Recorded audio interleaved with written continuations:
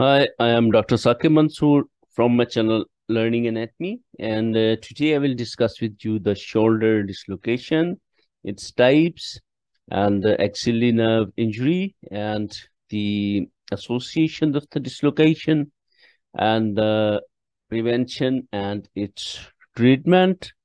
So here you could see this is the shoulder joint dislocated position, right? Here, this you could see this and uh, like this is the um, glenoid fossa, the glenoid cavity, and this is the dislocated head of the humerus going inferior. So let's talk in detail in a systematic manner. So the uniquely wide range of movement of the shoulder joint is achieved at the cost of stability. The head of the humerus is held in shallow glenoid socket by glenoid labrum, glenohumeral ligaments, coracohumeral ligament, overhanging canopy of coracoacromial arch, and surrounding muscles. Failure of any these mechanisms can result in instability of joint. And here you could see all these uh, things which I showed to you already. Uh, this is the glenoid labrum. First of all, is a very strong uh, uh support uh, to the shoulder joint uh, so you can resort to my first video on the shoulder joint uh, normal anatomy in detail. This is attached to the margins of the glenoid fossa, the glenoid cavity. And uh, here you could see the various ligaments and uh, supports the canopy of the coracoacromial arch. This is the coracoacromial arch. This is the, you know, coracoid process. This is the acromion. And this is the coracoacromial ligament. So this three form these three, the coracoacromial arch then the supporting thing, this is the glenohumeral ligaments, these glenohumeral, um, the superior, middle, and inferior ones. And uh, then the this coracohumeral ligaments. These are the supports. And of course, I uh, told you the surrounding muscles. I'm not showing you. And uh, right now, I've shown you already in my previous video. These were the more particularly rotator cuff muscle, supraspinatus, infraspinatus, subscapularis and teres minor. So dislocation is defined as complete separation of the glenohumeral surfaces, while subluxation means symptomatic separation of the surfaces without dislocation. So the shoulder joint is the most mobile and unstable. I told you already, it is usually displaced by direct or indirect injury and uh, about 90% of the shoulder dislocations take place in an anterior or antero-inferior direction, right? So posterior dislocation is very rare, only 5% or so. Why dislocation mostly inferior? So what are the causative factors? First of all, that uh, the coracoacromial arch and the rotator cuff, they are effective in preventing upward dislocation. Of course, these are present in upward and uh, so they prevent upward dislocation. Here you could see again, here you could see this is a coracoacromial arch and it does not allow this head of the humerus to displace superiorly. And uh, the third factor is very important that the capsule of the shoulder joint is very weak in an inferior direction. So clinically, these locations are called anterior or more rarely posterior dislocations, indicating whether the humeral head has descended anterior or posterior to the infraglenoid tubercle and long head of the triceps. The head then is placed anterior to or posterior to the glenoid cavity. So this is uh, the continuation of the anterior dislocation of the shoulder joint. And here you could see a child uh, with this position, which is most vulnerable to this uh, dislocation. About 90%, I told you already, dislocations take place in an anterior or anterior-inferior direction. They are the most common in adolescents and young adults, often as athletic injuries, right? So excessive abduction, here you could see this is excessive abduction, and then the extension and the lateral rotation, right? The combination of these movements of the arm at the shoulder.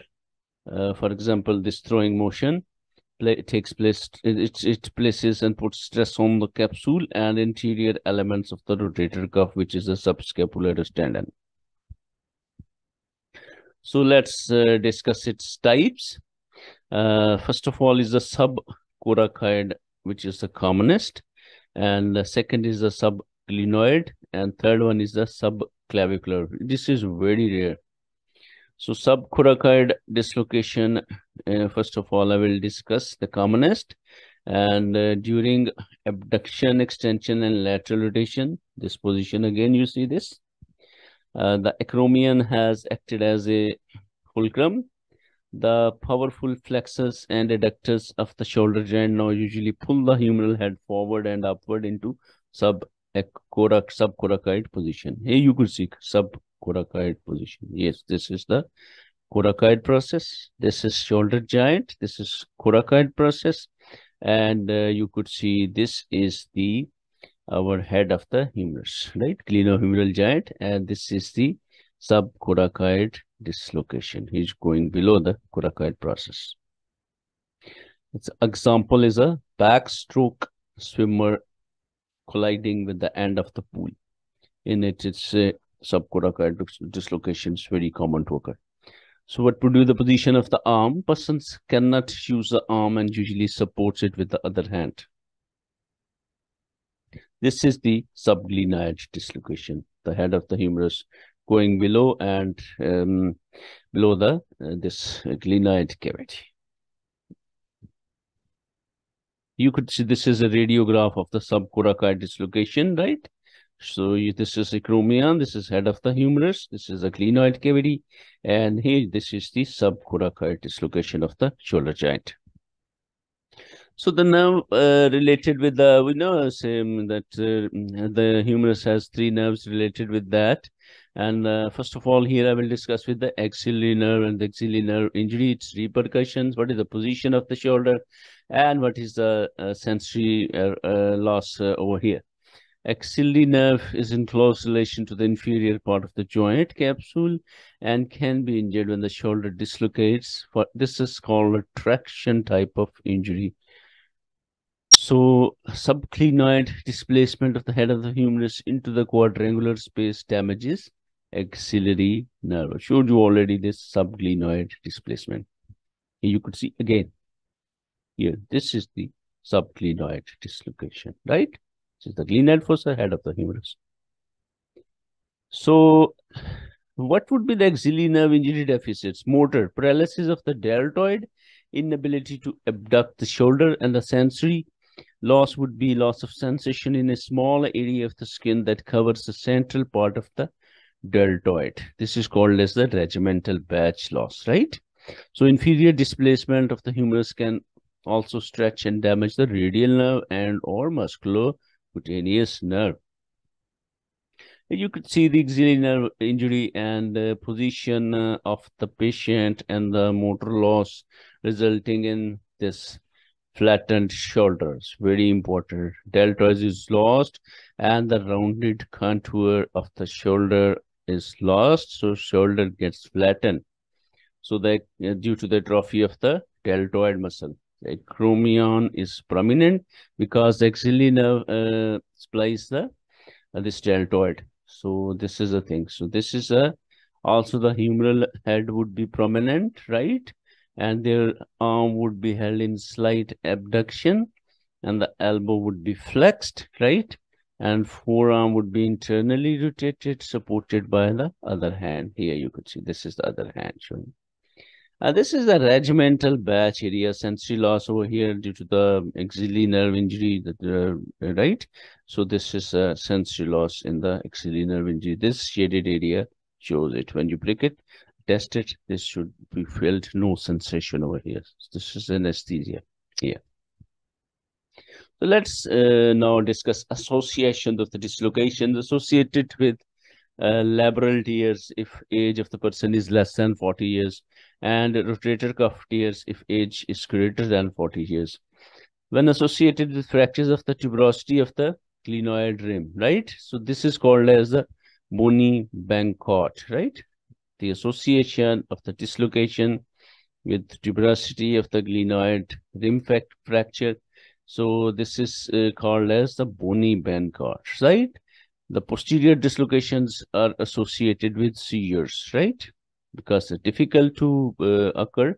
So strong blow is needed. It's, it's provided by seizures or even electrocution. Humeral head impression fractures or Hill-Sachs uh, lesion, they can also occur, right? So the treatment of dislocation, reduction of dislocation, Hippocratic method or Kocher method are used. Hippocratic method by mild traction on the hand, which is met by a counter force shielded by a bare foot in the patient's axilla. Kocher method, the operator grips and pulls on humeral epicondyles externally rotated arm is first adducted across the body and then internally rotated. Damage to the axillary nerve is checked before and after reduction. So immobilization, sling used for two weeks. And then the physical therapy is employed. Very important. So how this is prevented, prevention or prevention of re-dislocation so that uh, once is occurred and treated, so it might uh, re-dislocate. So we have to prevent it and the surgical procedures are used. These are carried out to prevent uh, re-dislocation and they involve repair of the torn labrum and uh, the rearrangement of anterior muscles and the reinforcement of capsule by an overlapping repair. I thank you very much for listening to this uh, uh, short topic. And uh, I will carry on uh, with the next topic on the rotator cuff injuries, which will be very, very important, the impingement syndrome. Thank you very much.